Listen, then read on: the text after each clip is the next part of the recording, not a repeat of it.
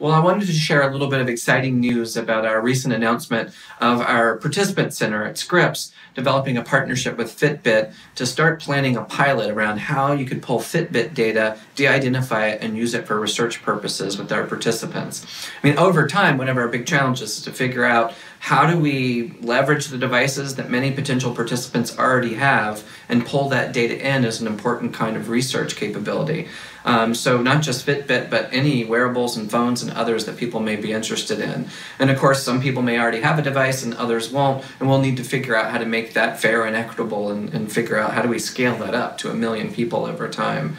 But getting started is key, doing pilots is key, and the diversity of data types are key to this program. Not only just electronic health record data and de identifying that, or um, environmental data, but also these kinds of technologies that are increasingly in our everyday lives.